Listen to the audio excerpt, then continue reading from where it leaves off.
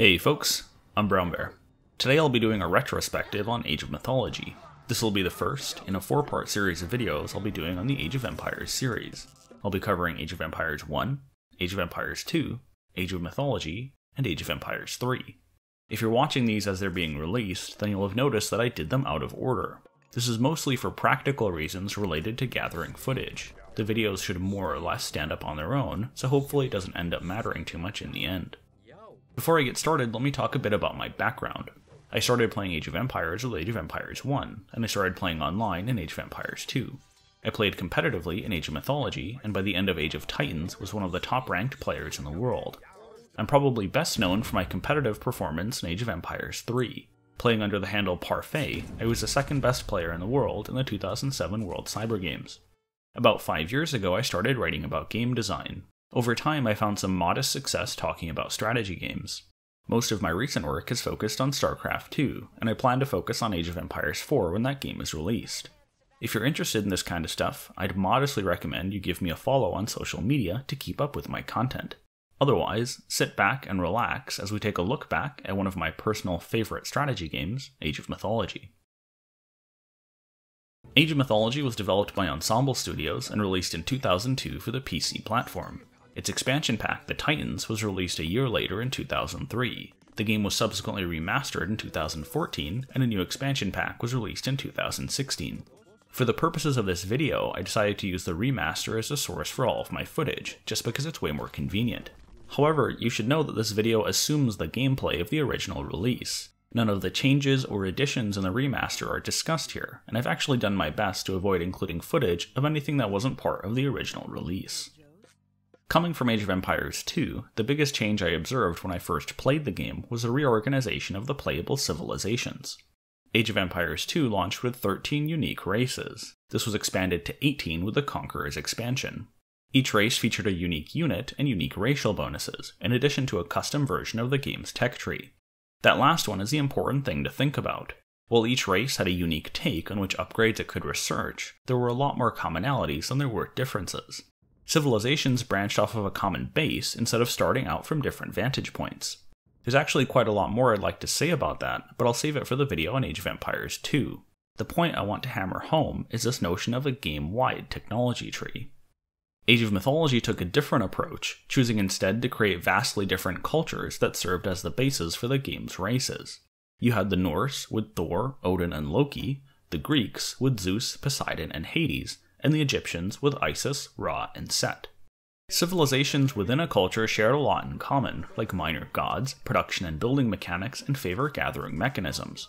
But the cultures played very differently from one another, for example, the Norse constructed all of their buildings with infantry, while the Egyptians used gold for the construction of many of their buildings.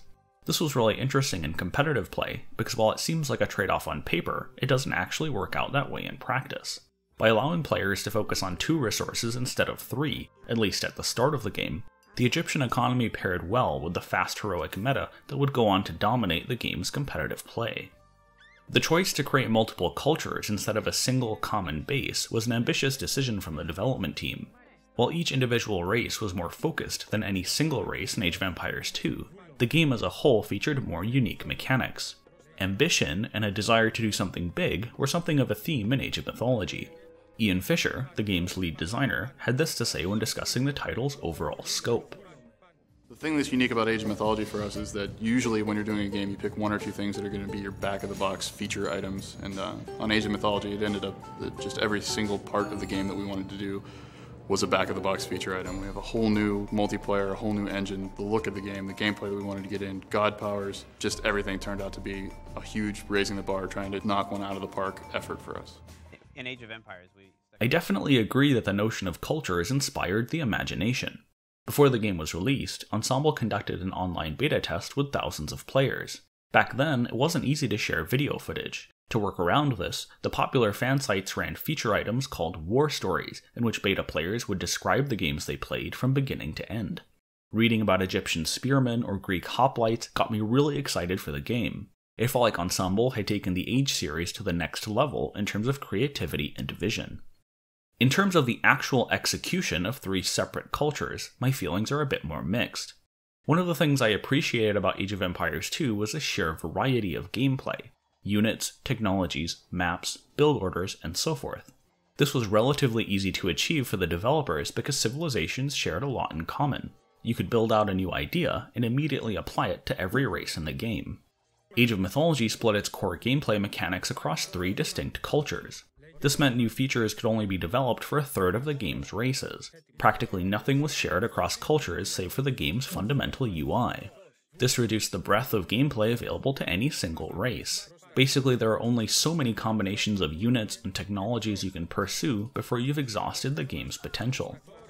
You can see this a bit better by doing a direct comparison between the two games. Here I've selected Norse, my favorite culture from Age of Mythology, with a civilization I picked randomly from Age of Empires 2, the Byzantines.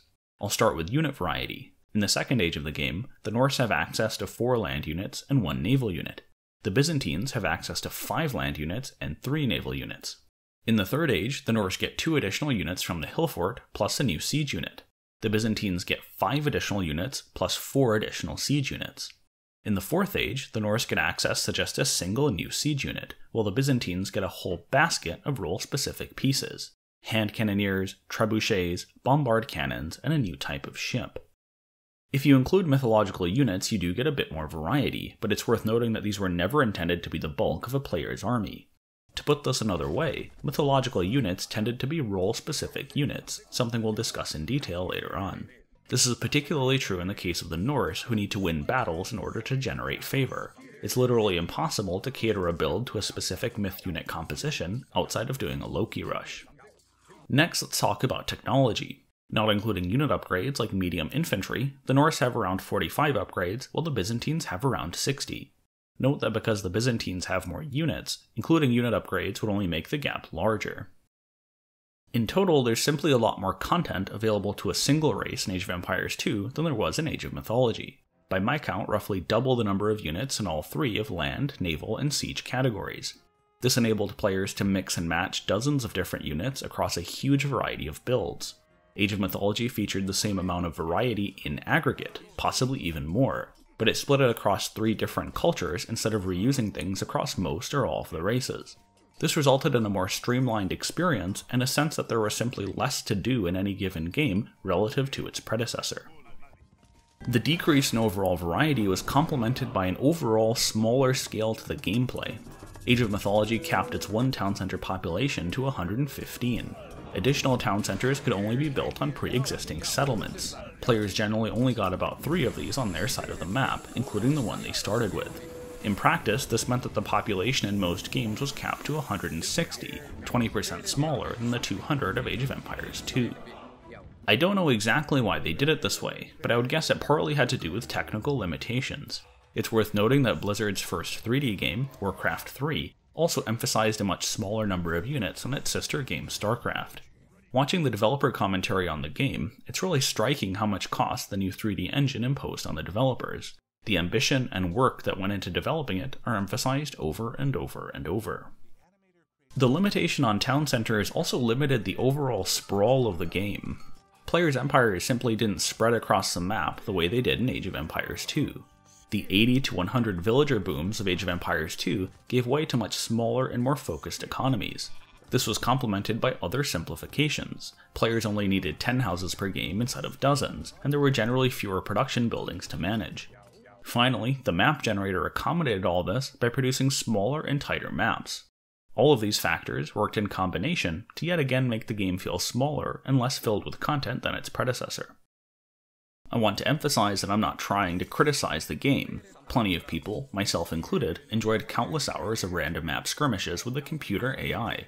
What I'm trying to understand, in retrospect, is why Age of Mythology didn't catch fire the same way Age of Empires 2 did. The online component rapidly depopulated after launch, with thousands of concurrent players dwindling down to just a couple hundred after a few months. It's not to say there weren't mitigating factors. The rise of Warcraft 3 is a big one, as is the overall decline of the PC market in the early 2000s. But I think there's more to it than just market circumstances. I think people enjoyed the Age of Empires series in part because of the real sense of building a sprawling and massive empire.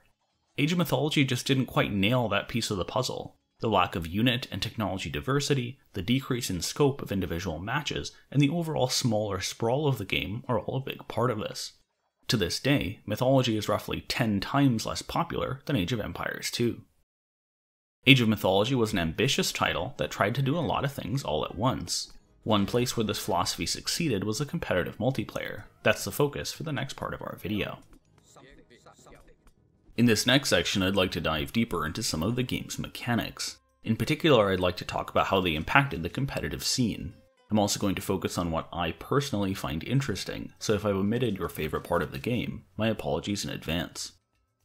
The first thing I found interesting were the changes to map layout and size.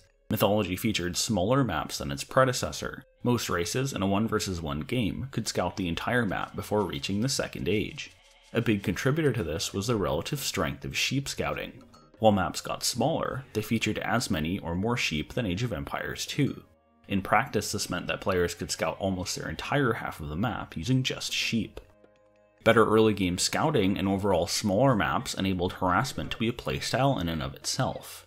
Back in the day, we called this raiding, with Odin and Poseidon being particularly skilled at it. Armies could move across small maps quickly, and players generally knew where their opponent's villagers would likely be. This allowed good players to run two or even three simultaneous harassment parties on different parts of the map.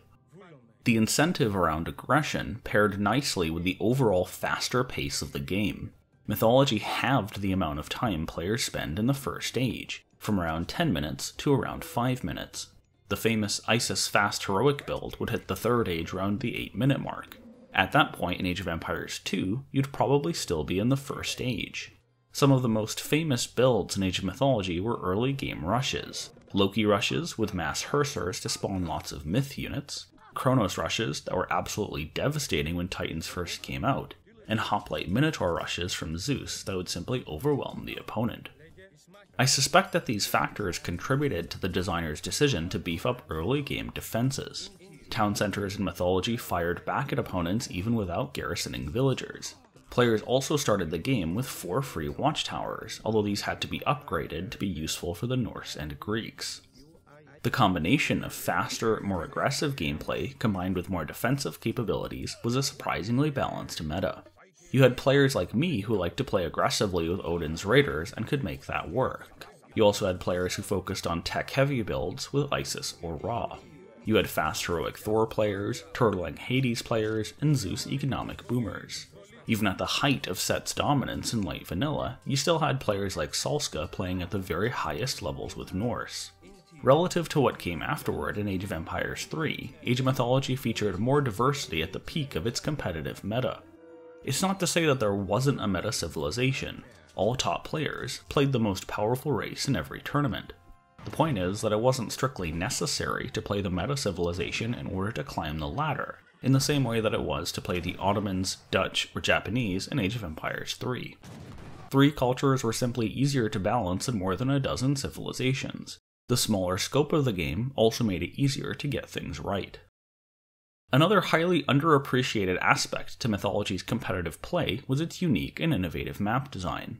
On top of old classics like Mediterranean and Ghost Lake, Mythology brought in several creative additions.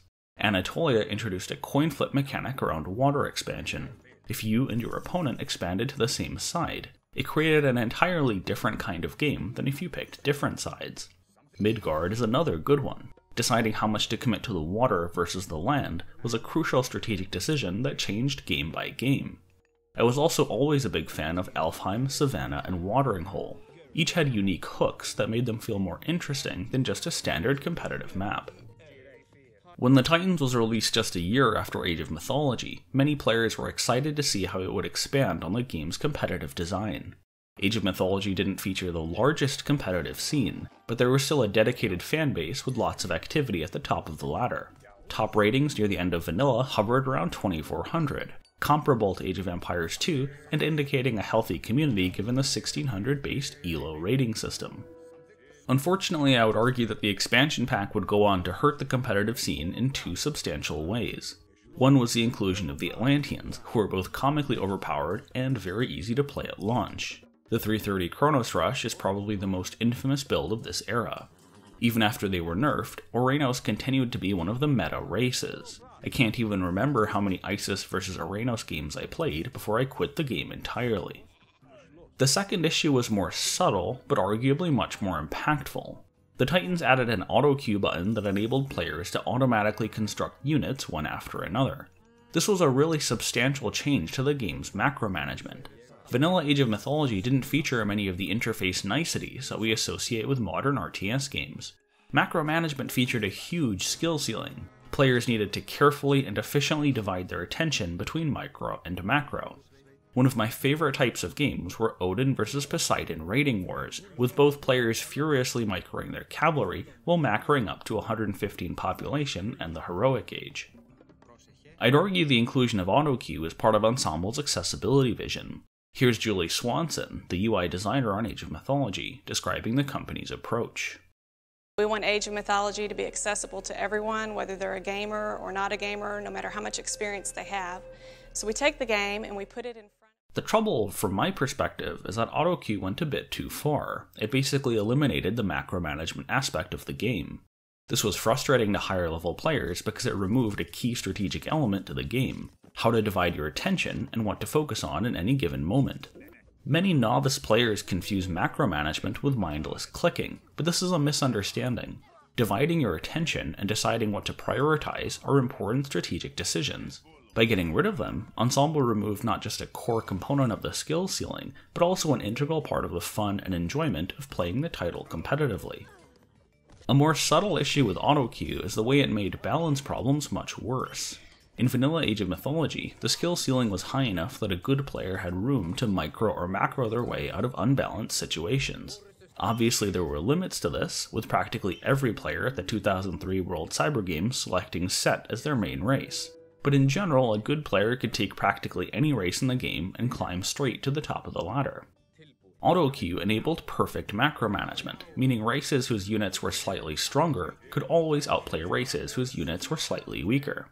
In other words, if you were playing Isis and I was playing Odin, in Vanilla Age of Mythology I could get a ton of mileage from microing multiple raiding parties while simultaneously outmacroing you to 150 in population. But in Titans, that skill ceiling was taken away, reducing the game mostly to a micromanagement contest and ensuring that Isis's superior units and economy would practically always win. It's not an exaggeration to say that this one feature substantially influenced my perspective on the design of real time strategy games. Back in the Conquerors, there was a big controversy over automatically reseeding farms. Similar to today's debates about mechanics, there was a faction arguing that it was a quality of life feature, and a faction arguing it was lowering the game's skill ceiling and ultimately making it less interesting. I never really understood the second faction until I experienced AutoQueue. It goes beyond simplifying the user interface. Quality of life features have the potential to completely change how a game is played, and make otherwise hidden problems suddenly super visible. I dislike the feature so much that I refuse to use it in competitive play. Many other players simply quit the game entirely, with the top rating on the ladder declining to around 2000. In this next section, I'd like to talk a bit about mythological units and god powers. Age of Mythology removed the stone resource from Age of Empires 2 and replaced it with favor. Favor was used to construct mythological units and research a variety of upgrades. Each culture generated favor differently the Norse through combat, the Egyptians through monuments, and the Greeks through villagers praying at the temple. Mythological units played an interesting role in the game's combat system. Age of Mythology leveraged a fairly hard counter system in which each unit had clear pros and cons. Throwing axemen were good against infantry, but weak against archers and cavalry. Cavalry savaged ranged units, but died quickly to spearmen. Spearmen got mowed down by anti infantry. Mythological units sat adjacent to this system, generally outperforming all varieties of normal units, but getting hard countered by hero units. Myth units also often punched above their weight relative to their stats. They often performed specific roles and complemented specific playstyles. For example, Valkyrie healing was an integral part to Odin's raiding strategy, enabling players to take risks, play aggressively, and still trade cost efficiently. The Minotaur is another good example, playing a key role in Zeus's hoplite rushes by taking damage and destroying buildings. Some of my strongest memories from Age of Mythology stem from the use of myth units. I think this is in part because each myth unit had a special ability that gave them more impact in combat. I can literally hear the sound of the Einherjar horn or a Battlemore buck just by thinking about it. The instant kill of the mummy is also particularly memorable. I can't immediately recall what it sounds like, but I can see it on the battlefield like it was just yesterday. Next up, let's talk about God Powers. The God Power system was touted heavily by Ensemble prior to release. It was a keystone feature of the title and a major differentiator from the more classic gameplay of Age of Empires 2. Overall, I like the way the God Power system worked. Heimdall's Undermine and Bragi's Flaming Weapons are two examples of God Powers that I can hear in my head just by thinking about them. Because God Powers could only be used once per game, they were typically used to proactively accompany timings or rushes. More reactive powers like Ceasefire were generally not as useful as ones that could actively be leveraged to strengthen an already strong strategy. The god powers did have a flaw in the sense they don't seem to have worked out the way the designers intended. They were definitely a cool mechanic, but they weren't integral to the gameplay in the way they were pitched. The core problem from my perspective is the trade off between impact and balance. The stronger a god power, the harder it would be to balance, and the more likely it would become a one dimensional gimmick. By contrast, the weaker a god power, the less it would feel like an actual power an actual god would have. It's hard to be both impactful and balanced. Mythology's middle of the road approach worked out pretty well in the end, but it wasn't the series changing paradigm shift that pre release interviews seemed to imply. I would actually argue that the Home City system in Age of Empires 3 was a refined version of Mythology's god powers. By splitting them into smaller chunks and allowing players to select many over the course of the game, Shipments were easier to balance and played an overall larger role in the title than God Powers did for Mythology. In this next section, I'd like to talk about graphics and sound. The keystone new graphical feature in Age of Mythology, aside from its brand new three dimensional engine, were its cinematic cutscenes in the single player campaign. These were quite impressive and brought the player directly from a cinematic into the gameplay. For me personally, this new feature went underappreciated because Warcraft 3 did the same thing just a few months earlier. It's a bit of a shame because it's obvious from the developer commentary just how much work went into this. Another substantial interface change was the elimination of the explicit grid used in Age of Empires 2. Now obviously there's still a grid under the covers, because there's only so many XY coordinates on the map, However, Age of Mythology got quite close to the concept of freeform building placement, and it's something of a treat to play the game after getting accustomed to the grid of a game like StarCraft 2. You really feel like you can place buildings anywhere on the map and construct exactly the kind of empire you want. The three dimensional engine was also a substantial change from a gameplay perspective. Age of Mythology retains the isometric view of most real time strategy games, including Age of Empires 2. What the 3D engine changes is the relationship between the camera and the items in the game world. The map is actually three dimensional and curved. Isometric projection does a good job hiding this, but it's not a perfect solution. Here I'll illustrate with a Minotaur. Notice that its size changes depending on where the camera is panned. This is because, in a 3D environment, the Minotaur is literally further away from the camera in one location than it is in the other. Mythology's use of non-discrete elevation also adds additional variability here. I actually wonder whether this was intentional in order to mask the effects of the 3D engine. I've mentioned this in my other videos, but I think it's worth mentioning here as well. The shift from 2D to 3D is not a trivial one in real-time strategy. I think one of the reasons some players have a preference for 2D RTS is the subtle control issues they experience transitioning from 2D to 3D. It's subtle, but it very much hits upon your sense of accuracy as you click around the map. If you don't take the time to get accustomed to it, it's easy to get turned off by it. Next up, let's talk about sound design. There's no other way to describe it. Age of Mythology's sound design is simply iconic. I'm not exaggerating when I say it's the best part of this game. That shouldn't be too difficult to believe considering that it's also one of the best parts of Age of Empires 2. I absolutely adore the unit selection and movement sound effects. Here are some examples for the Norse and Greeks.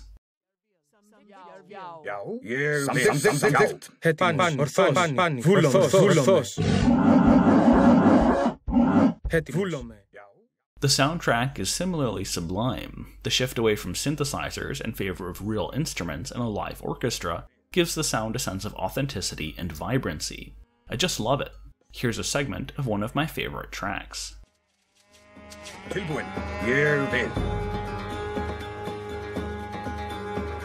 Something?